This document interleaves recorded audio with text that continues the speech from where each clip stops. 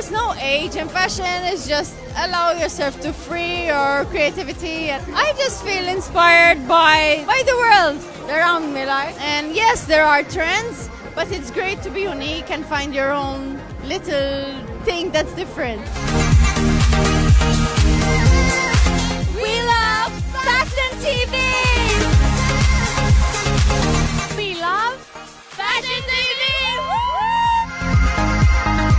Inspiration for sure is uh, my mother background.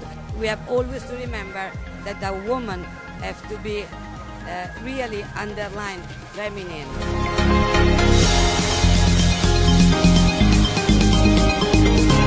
I've been organizing fashion shows and beauty pageants for the past 14 years, but Miss Universe Malta this year will be the fifth year anniversary, so we're very looking forward to have the fifth winner and to prepare her to represent Malta in Miss Universe. I was born and raised in the Philippines.